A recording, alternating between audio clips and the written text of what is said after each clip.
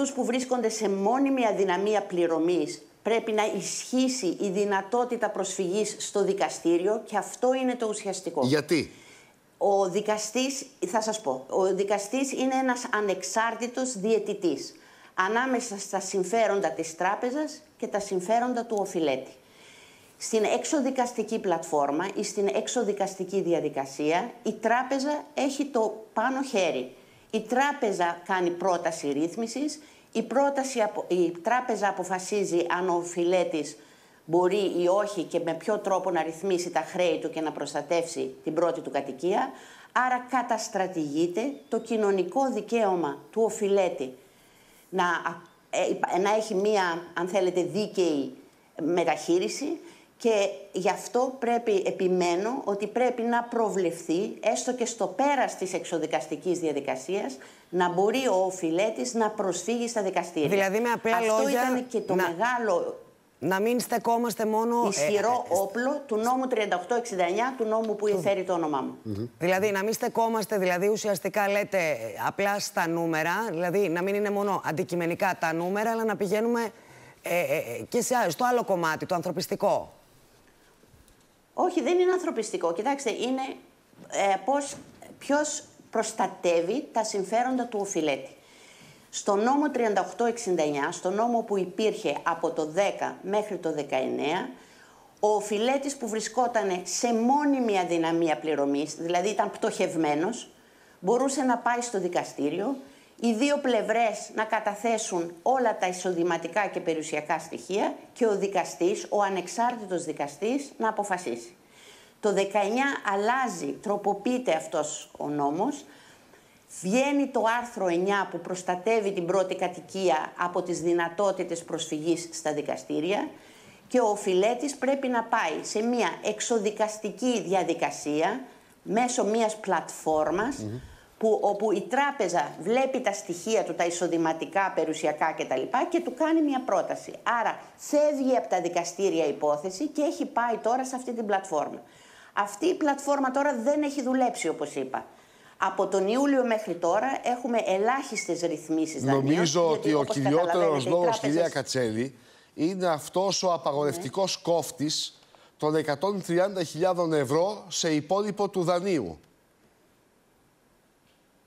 Κοιτάξτε, υπάρχουν εισοδηματικοί περιορισμοί, τους οποίους πάντοτε μπορούμε να τους δούμε και να τους αλλάξουμε. Για μένα το πιο βασικό, κύριε Παυλόπουλη, και γι' αυτό σήμερα, δεν ξέρω αν το έχετε ε, ανακοινώσει η ΕΚΠΙΖΟ, που είναι η μεγαλύτερη καταναλωτική οργάνωση, έχει κάνει ε, μέσω της ΑΒΑΖ ε, στο διαδίκτυο συλλογή ψηφ, κάνει μια ψηφοφορία, ανοιχτή ψηφοφορία, έτσι ώστε οι πολίτες να ζητήσουν από την κυβέρνηση την προστασία της πρώτης, της κύριας κατοικίας ναι. και κυρίως την προστασία της δυνατότητας του οφειλέτη να πάει στα δικαστήρια να βρει το δίκιο του. Γιατί είναι τόσο λίγοι εκείνοι οι Αυτό οποίοι... είναι το ουσιαστικό. Οι οποίοι μπαίνουν στην, ε, στην πλατφόρμα; Δεν Κατά τη γνώμη σας.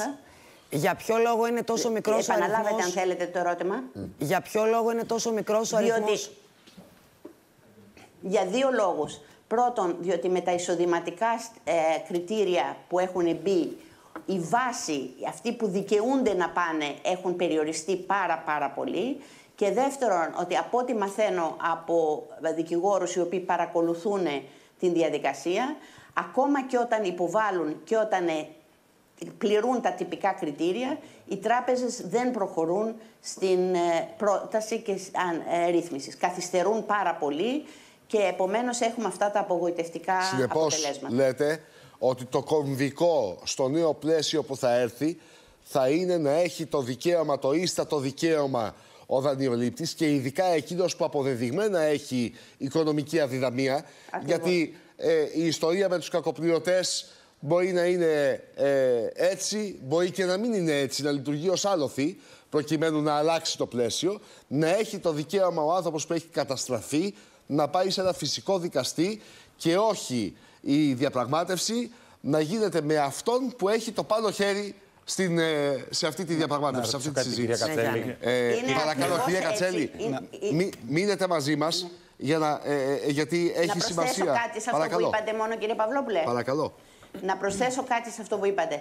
Με τις, επειδή γίνεται πολλή συζήτηση για τους κακοπληρωτές, Ναι, ναι. Να πούμε μόνο ότι με βάση της ε, τροπο, τροποποίησης του νόμου, του αρχικού νόμου που είχαν γίνει το 19, οι όποιες καταστρατηγήσεις είχαν περιοριστεί στο ελάχιστο.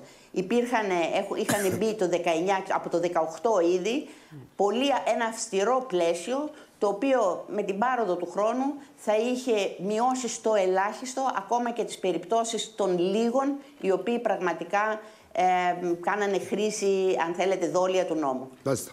Να- Κυρία. Έλα, Σπύρο. Για να πάμε και στην κυρία Νίκα. Κυρία Γατσέλη, καλημέρα. Α, είπατε τους λόγους για τους οποίους Καλημέρα σας. καλημέρα, δεν λειτουργεί η πλατφόρμα, δεν, έχει, δεν είναι τόσο δημοφιλής. Ε, το ρεπορτάζ λέει ότι ένας από τους λόγους που δεν είναι τόσο δημοφιλής είναι ότι το δικό σας νομοθέτημα ήταν τόσο πετυχημένο που σχεδόν το σύνολο των δανειοληπτών που κοκκίνησαν τα δάνειά τους προσέφηγαν στο δικό σας ε, νόμο προκειμένου να προστατευτούν. Με αποτέλεσμα να έχουμε χιλιάδες κόσμο ο οποίος περιμένει, έχει πάρει ας πούμε την προσωρινή διαταγή και περιμένει την κύρια εκδίκαση και ζυγίζει για το αν τον συμφέρει να κάνει μια αίτηση και στην πλατφόρμα. Αυτός είναι ο βασικός λόγος που εμένα μου μεταφέρουν, για τον οποίο δεν εμφανίζει επιτυχία η πλατφόρμα αυτή τη στιγμή. Αυτό θα ήθελα ένα σχόλιο πάνω σε αυτό, αν μπορείτε. Και το δεύτερο, θα ήθελα να σας ρωτήσω, με Έχουμε την κυρία δεδομένο, Κατσέλη, σας παρακαλούμε. ναι, με δεδομένο ότι έχουμε, είχαμε Να ρωτήσω, πά- να με απαντήσω. Ε, αν θέλετε να, να ολοκληρώσω για να μην ξαναπαρέμω, να, να σας κάνω μια Βεβαίως. δεύτερη ερώτηση. Με δεδομένο ότι έχουμε, ε, είχαμε πάρα πολύ χρόνο μπροστά μας μέσα στην κρίση, προκειμένου ο κόσμος που κοκκίνησαν τα δάνειά του, που καταστράφηκε οικονομικά, να προσφύγει σε αυτή τη διαδικασία να προστατευτεί. Είχε πάρα πολύ χρόνο. Πάρα πολλοί το έκαναν. Δεύτερον, δόθηκε και η δυνατότητα της πλατφόρμας. Δηλαδή, έχουμε εξαντλήσει πιθανόν τα χρονικά όρια που κάποιος μπορεί να προσφύγει για να προστατεύσει την πρώτη του κατοικία.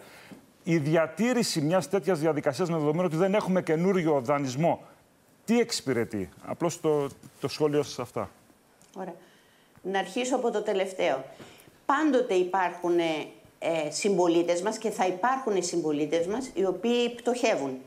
Γι' αυτό σε όλα τα ευρωπαϊκά κράτη το πτωχευτικό δίκαιο για τα φυσικά πρόσωπα ισχύει από τη δεκαετία του 80 και μετά. Εμείς ήμασταν ως Ελλάδα που δεν είχαμε πτωχευτικό δίκαιο ιδιωτών, ενώ είχαμε πτωχευτικό δίκαιο επιχειρήσεων. Άρα πτωχευτικό δίκαιο ιδιωτών χρειάζεται, είναι κομμάτι μιας ένομης τάξης πραγμάτων ή έχεις κρίση ή δεν έχεις κρίση. Γι' αυτό το ο νόμος 3869, ο νόμος που φέρει το όνομά μου, δεν ήταν προϊόν της κρίσης, ήταν προϊόν μιας δημοκρατικής πολιτείας ε, η οποία έπρεπε να έχει ένα πτωχευτικό δίκαιο. Δεύτερο, ε, επειδή ακούω στο δημόσιο διάλογο ότι η προστασία της πρώτης κατοικίας είναι ελληνική πρωτοτυπία, αυτό δεν ισχύει. Και στην Ορβηγία και στην Αμερική έχουμε πλαίσια προστασίας της πρώτης κατοικίας και μάλιστα από εδώ και αρκετά χρόνια η Ευρωπαϊκή Οικονομική και Κοινωνική Επιτροπή έχει κάνει σύσταση στα κράτη-μέλη να προστατεύσουν το δικαίωμα στη στέγη. Και το δικαίωμα στη στέγη, τρίτος λόγος, είναι ένα πάρα πολύ, ε, αν θέλετε, ουσιαστικό μέτρο υποστήριξης και της οικονομικής δραστηριότητας, αλλά και των ίδιων των τραπεζών. Διότι φανταστείτε, εάν στη μέση αυτής της κρίσης που βιώσαμε τα 10 χρόνια, μέσω των πληστηριασμών, των μαζικών πληστηριασμών, είχαμε μία μείωση της αξίας όλων των ακινήτων, αυτό θα έπλητε και την αξία όλων των ενεχείρων των τραπεζών. Κυρία Κατσέλη. Επομένως, πτωχευτικό δίκαιο πρέπει να υπάρχει. Η προστασία της πρώτης κατοικίας είναι κοινωνικό δικαίωμα και πρέπει να προστατεύεται και για κοινωνικούς και για οικονομικούς λόγους. Τώρα, το πρώτο σας ερώτημα είχε να κάνει με το αν είχαμε αθρώα συρροή στα δικαστήρια. Ναι, είχαμε, διότι είχαμε μια μεγάλη κρίση όπου το βιωτικό επίπεδο όλων των συμπολιτών μας έπεσε δραματικά και άρα είχαμε μια ε, προσ- προσπάθεια από πολλούς συμπολίτες μας, ιδιαίτερα αυτούς που πτώχευσαν μέσα στην κρίση, όχι η πετιότητή τους, αλλά λόγω της κρίσης, να προσφύγουν στο, στα Κυρία δικαστήρια Κατσέλη, να σας παρακαλέσουμε για να ρυθμίσουν κάτι τα δάνεια τους. και να ζητήσουμε και Ναι. την ανοχή της κυρίας ε, Νούκα, η οποία δεν έχει τοποθετηθεί ακόμη, να πάμε σε ένα πολύ σύντομο διάλειμμα Ναι. και να επιστρέψουμε, να ακούσουμε και την κυρία Νούκα, η οποία έχει Ωραία. εκατοντάδες Να υποθέσεις στα χέρια απαντήσω της. μόνο ίσως Ωραία. Να απαντήσω μόνο όταν επιστρέψουμε στο ερώτημα το πρώτο, στο οποίο δεν απάντησα. Ωραία, ωραία, ωραία. Πάμε λοιπόν σε ένα σύντομο διάλειμμα. Σας θυμίζουμε το διαγωνισμό μας, κυρία Νούκα. Ερχόμαστε αμέσως. Ναι. Ε, πάμε σε ένα σύντομο διάλειμμα. Ε, υπενθυμίζουμε το διαγωνισμό μας για το ολοκένουργιο SUV της Volkswagen, το T-Cross χιλίων κυβικών 95 ύπων, 17.600 ευρώ. Ολόλευκο το cool SUV της Volkswagen. Το πιο cool που λέει και η Το 14999 το διεκδικείτε είτε με τηλέφωνο είτε με μήνυμα open κενό και το όνομα τεπώνυμό σας. Πάμε. Δείτε σε λίγο. Σύνδεση με Σιγκαπούρη. Η Σοφία Ασπροδίνη εξηγεί πώς είναι η κατάσταση στη χώρα και πώς είναι η ζωή σε καραντίνα λόγω κορονοϊού. Και ο βουλευτής της Νέας Δημοκρατίας Κώστας Γιουλέκας συναντά στο στούντιο της εκπομπής Ωρα Ελλάδος 7 τον βουλευτή του ΣΥΡΙΖΑ Χρήστο Γιανούλη και τον Παύλο Χριστίδη, εκπρόσωπο τύπου του κινήματος Αλλαγής.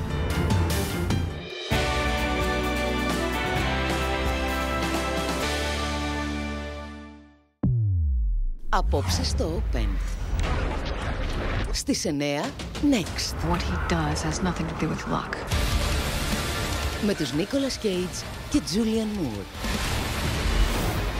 Και στις 11, You can see you right now. ο Μέλ Γκίψον στη βίαιη δικαιοσύνη. Streak of sunlight, you're gonna see. Απόψε, με μεγάλα ονόματα. Στο Open, το ανοιχτό κανάλι.